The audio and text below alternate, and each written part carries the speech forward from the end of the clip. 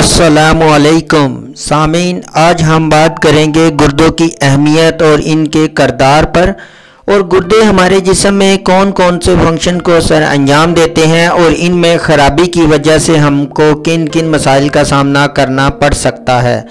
और गुर्दों के अमराज से बचाव कैसे मुमकिन है? और आखिर में आपको बताएँगे गुर्दों के अफाल को बेहतर करने के लिए एक बहुत ही ज़बरदस्त होम्योपैथिक मेडिसिन के बारे में। और साथ ही आप हमारे चैनल को भी ज़रूर सब्सक्राइब कीजिएगा और बेल आइकॉन के बटन पर भी क्लिक कर दें ताकि आपको हेल्थ से रिलेटेड हर किस्म की मालूम और मेडिसिन के इस्तेमाल से मुतलिक आगाही का नोटिफिकेशन मिलता रहे। चले तो शुरू करते हैं आज के इस टॉपिक को।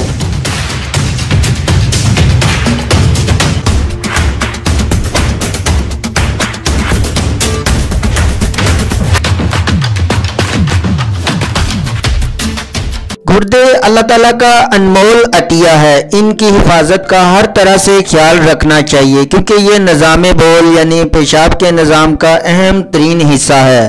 गुर्दे हमारे जिसम में खून को साफ़ करने, जहरीले मादों के अखराज, ज़रूरत से जायद पानी से छुटकारा हासिल करने, इसके साथ साथ ब्लड प्रेशर को कंट्रोल करने, खून के सुरख ज़र्रात की पैदावार और हड्डियों की मजबूती में भी अहम करदार अदा करते हैं। अगरचे निज़ाम बोल की बीमारियाँ बहुत आम हो चुकी हैं, लेकिन हकूमती और आवाम की सतह पर अदम तोजही लाइलमी और गैर जिम्मेदाराना रवैये, इन अमराज को शदीद और बाद अवत में जानलेवा अमराज में तब्दील कर सकते हैं। मौजूदा तहकीक के मुताबिक हर दर्स में से एक फ़र्द किसी हद तक गुर्दों की खराबी का शिकार है। अगर इस खराबी का बर वक्त इलाज ना किया जाए तो गुर्दों के फेल होने का इम्कान हो सकता है। पाकिस्तान में हर साल तकरीबन दस हज़ार अफराद गुर्दों के अमराज के बायस हलाक हो जाते हैं।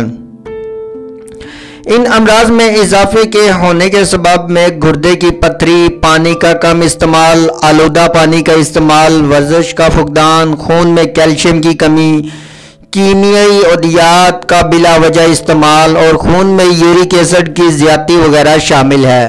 रोज़मर्रा इस्तेमाल की जाने वाली अशिया में कैल्शियम, फास्फोरस, दीगर अज्जा और विटामिन पाए जाते हैं, जो पानी के जेर इस्तेमाल से इंसानी जिसम से खारिज होते रहते हैं।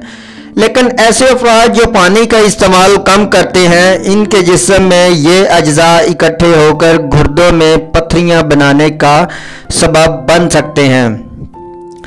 एक और बात याद रहे कि गुर्दे इंसानी जिसम में इस्तेहाला के नतीजे में पैदा होने वाले मुजर मादों को खून से अलग करते हैं। इसके अलावा जिसम में रकीक मादों का तोज़न बरकरार रखने और हयातियाती कीमियाई मादों का तनासब बनाए रखने का अहम काम अंजाम देते हैं।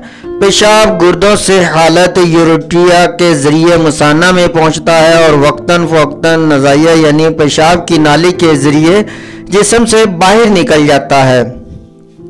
गुर्दे इंसानी जिसम में तरशोई व कलवी तोज़न के मुहाफ़ व निगेबान भी हैं। इस तोज़न में ज़रा सी भी गड़बड़ पैदा हो जाए तो इंसान को जान के लाले पड़ जाते हैं। गुर्दे इंसानी जिसम में मौजूद अहम शय यूरिया को भी ठिकाने लगाते हैं। अगर यूरिया अपनी मखसूस मकदार से जायद जिसम में जमा होने लगे तो ये इंतहाई जहरीले असरात मुरतब करता है।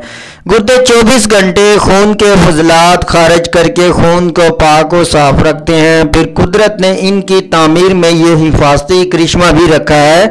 अगर एक गुर्दा बीमार या नकारा हो जाए तो बाकी मानदा दूसरा गुर्दा पूरी तरह अपनी ज़िम्मेदारी से फ़रज़ अंजाम देता रहता है। जब खून शरियानों के ज़रिए घुर्दे में दाखिल होता है तो घुर्दे की ये शरियान इस खून को बारीक रगों के एक गुच्छे में तेज़ी से दाखिल कर देती है। इस गुच्छे को ग्लोमेरुलस कहा जाता है। इसमें खून के अहम अज्जा, मसलन खून के सुरख और सफ़ेद खुलियात अकरासुलदाम और प्रोटीन वगैरह रोक लिए जाते हैं, जबकि खून के सयाल हिस्से यानी प्लाज्मा को फ़िल्टर करने के लिए बोमैन कैप्सूल में बेच दिया जाता है। यहाँ से ये सियाल मादा इंतहाई बारीक रगों में रवाना कर दिया जाता है। जिन्हें लूप ऑफ़ हैंडल कहा जाता है। विल्डर करने का असल काम इसी जगह वाक़ होता है। ये बारीक रगे प्लाज्मा यानी खून का सियाल मादा में से गैर ज़रूरी अज़ा को निकाल लेती है और पेशाब की सूरत में तब्दील करके मसाने तक पहुँचा देती है। इंसानी गुर्दे चूँकि एक फ़िल्टर की तरह काम करते हैं और ये जिसम से फासद मादे पेशाब के ज़रिए खारिज करते हैं। इसलिए अगर गुर्दे सही तरह काम नहीं कर रहे होंगे तो फासद मादे एक ख़ास सतह से ज़्यादा होकर जिसम में जहर फैलाने का मौजब बनते हैं। इंसानी गुर्दे एक दिन में 180 ता 200 लीटर या 20 बाल्टियाँ खून साफ़ करने के अलावा ब्लड प्रेशर को कंट्रोल, खून के सुरख जर्रात की पैदावार और हड्डियों की मजबूती में अहम करदार अदा करते हैं। और फ़र्ज़ कर ले कि अगर जिसम में आठ लीटर खून मौजूद है तो गुर्दे दिन भर में 25 बार इसकी सफ़ाई का काम सर अंजाम देते हैं। यानी एक दिन में 25 बार डायलिसिस का अमल अंजाम पाता है। साल भर में ये डायलिसिस 9125 बार होगा। अगर इंसान की उस उम्र फ़र्ज़ कर ले 60 साल होगी तो ये अमल ज़िंदगी में पाँच लाख सैतालीस हज़ार पाँच सौ मरतबा अंजाम पाएगा। अगर इतनी मरतबा डायलिसिस कराने का तखमीना लगाया जाए तो ये रकम कई करोड़ों तक जा पहुँचती है। गुर्दों से दो इंतहाई अहम हारमोन भी खारिज होते हैं, जिन्हें रिनैन रोत्रीपोइटिन कहा जाता है। इन हार्मोन के जिम्मे सुरख खुलियात की पैदावार में मदद फराहम करना होता है, जबकि रिनाइन जिसम में ब्लड प्रेशर को कंट्रोल करने में मदद देता है। इसके अलावा अगर इसको मुख्तर बयान किया जाए तो गुर्दे के अफाल क्या क्या होते हैं, इसको भी हम शार्ट सा ब्रीफ करते हैं। रोज़ाना तकरीबन 200 लीटर खून साफ़ करते हैं। इस अमल से तकरीबन दो लीटर नामियाती जहर, टॉक्सिन और गैर ज़रूरी पानी खारिज होता है। जिसम में नमकियात की मकदार को भी कंट्रोल करना इन्हीं का काम होता है। जिसम के अंदर खून के खारेपन और तेजाबीपन के दरमियान तोज़न कायम रखना भी गुर्दों का ही काम है। इसके अलावा जिसम में पानी की मकदार को कंट्रोल करना भी इन्हीं का काम है। जिसम में खून के सुरख खुलियात की तैयारी में मदद फ्राहम करना जिसमें ब्लड प्रेशर को कंट्रोल में रखना भी गुर्दों के जिम्मे है, क्योंकि गुर्दे रिनाइन भी बनाते हैं, जो इस वक्त खारिज होता है। जब ब्लड प्रेशर कम हो जाए या सोडियम की मकदार कम होने लगे।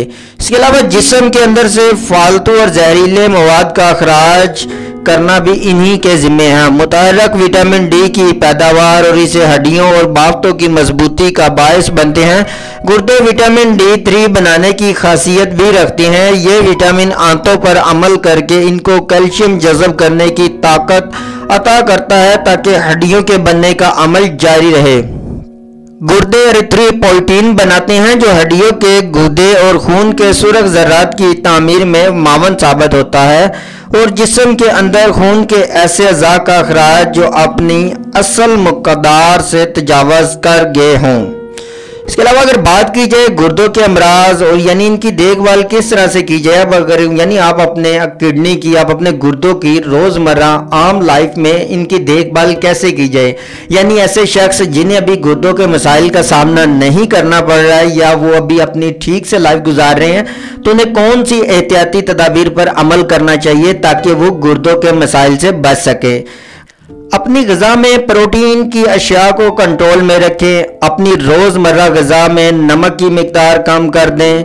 कुछ अफराद गुर्दों के अमराज में पानी बहुत ज़्यादा पीने लगते हैं, ये अमल अपने डॉक्टर की हदायत के मुताबिक करें।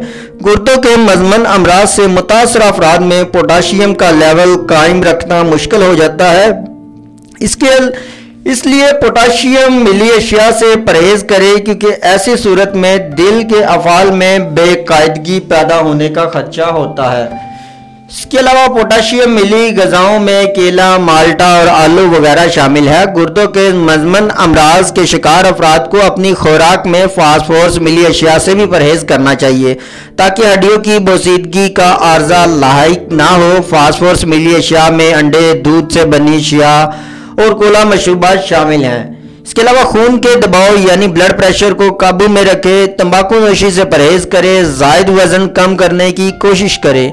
ज़्याबतीस पर नज़र रखें वक्ता फ़क्ता खून में शुगर की मकदार चेक करवाते रहें।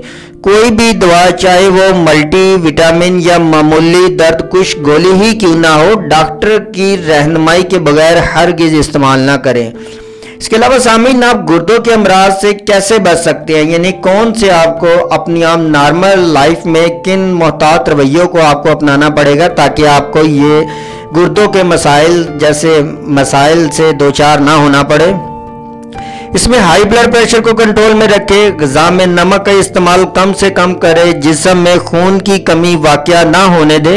इसके अलावा खून में शुगर का लेवल को कंट्रोल में रखे, यानी जैबिटीज़ के आर्जे से बचे रहें। इसके अलावा मोटापे को कंट्रोल करे, यानी वज़न को कद के मुताबिक रखे। तम्बाकू नोशी से मुकम्मल इजतनाब करे। किसी भी नशा अवर शहर से दूर रहें। सेहतमंद सरगर्मियों में बढ़ चढ़ हिस्सा लें। वॉकिंग व जॉकिंग बाकायदगी से करें। पेशाब की रुकावट या पेशाब के छोटे से छोटे मसले को भी अपने मालज के साथ ज़रूर शेयर करें। अजवाजी तल्लक को अपने शरीक हयात तक ही महदूद रखें। हतुलवसा कोशिश करें कि पेशाब की हाजत को रफा करने के लिए बैतुलखला का ही इस्तेमाल किया जाए। किसी नाली या मैदान में पेशाब करने से मुकम्मल तौर पर इजतनाब किया जाए। पेशाब व पाखाना के बाद अस्तंजा ज़रूर करें। जहनी व नफसियाती आवारज के लिए किसी मुस्ंद मालज से रबता करें। खुद से कोई सुकून बख्श दवाएँ इस्तेमाल ना करें। और पेशाब की हाजत को बिला वजह ना टालें। पेशाब की हाजत हो रही हो तो जनसी अमल हरगिज़ ना करें। नमाज़ पचगाना और दीगर काम खुदाबंदी को बाकायदगी से अदा करें। अब बात करते हैं इसके इलाज के हवाले से। अगर आप गुर्दों के लिए किसी सुयर मसाइल का शिकार हैं तो आपको फ़ौरन अपने कंसल्टेंट से, अपने डॉक्टर से रबता करना चाहिए। यहाँ पर हम एक ऐसी आपको एक होम्योपैथिक मेडिसिन के बारे में भी बता रहे हैं। अगर आप हल्के फुल्के यानी कुछ लाइट्स अगर आप महसूस कर रहे हैं, यानी ये मेडिसिन ये कह ले कि आपके गुर्दों के लिए एज ए टॉनिक के तौर पर काम करेगी। बल्कि इसको भी आप इस्तेमाल से पहले अपने डॉक्टर से मशवरा कर सकते हैं। इस मेडिसिन का नाम है किडनी मीना सिरप, ये सिरप फॉर्म में भी है और कैप्सूल फॉर्म में भी है। यानी ये कैंट होम्यो फार्मा की बनी है, इसकी मैंने पिक भी लगा दी, आप देख सकते हैं। इसका फ़ंक्शन क्या है? गुर्दों के अफाल, इनके फ़ंक्शन को काफ़ी हद तक बेहतर करता है। मसाना के जुमला अमराज में भी ये काफ़ी मददगार हो सकती है। अगर आप गुर्दे की पथरी, सोजश वरम पेशाब के जुमला इमराज का शिकार हैं तो ये सिरप और कैप्सूल आपके लिए काफ़ी मददगार साबित हो सकते हैं। और सामीन, आपके माइंड में आज के इस टॉपिक से रिलेटेड किसी भी किस्म का सवाल हो या कोई ऐसी बात जो आपके जहन में हो, लेकिन हमने वीडियो में डिस्कस ना की हो तो आप कमेंट सेक्शन में हमसे पूछ सकते हैं। आपके पूछे गए तमाम सवाल का जवाब हम ज़रूर देंगे। अगली वीडियो तक हमें इजाज़त दें, अपना ख्याल रखिएगा। अल्लाह हाफिज़।